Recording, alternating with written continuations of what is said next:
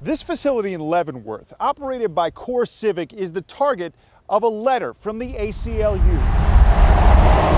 These are all people who are innocent. They are innocent until proven guilty under law. All at the CoreCivic Private Detention Facility in Leavenworth, where federal inmates are housed as they face charges. They are at risk of extreme violence every single day. Sharon Brett is the legal director for the ACLU of Kansas, a group that recently wrote a letter to the Biden administration calling for the facility to close by the end of the year.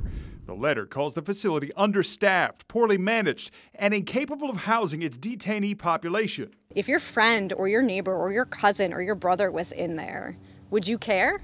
And I think you would. Leavenworth police tell KMBC they've investigated at least two serious incidents this year an inmate dying in February after an assault, and two staff members hospitalized in August after an inmate assault. Meanwhile, CoreCivic has fired back saying the ACLU's claims about understaffing and safety are false and defamatory, calling the ACLU's statements biased since the group wants to end private prisons. A situation KMBC will continue to watch as the year comes to a close. In Leavenworth, Matt Flener, KMBC 9 News.